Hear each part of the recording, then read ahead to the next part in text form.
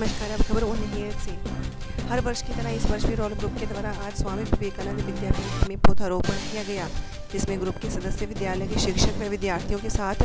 वरिष्ठजनों की उपस्थिति में पंद्रह पौधों का रोपण किया गया। विद्यार्थियों की पहल पर हर क्लास के द्वारा एक एक पौधा गोद लिया गया। उन्हें से टीवी न्यूज़ चैनल के लिए दिलीप पंचाल की स्पेशल रिपोर्ट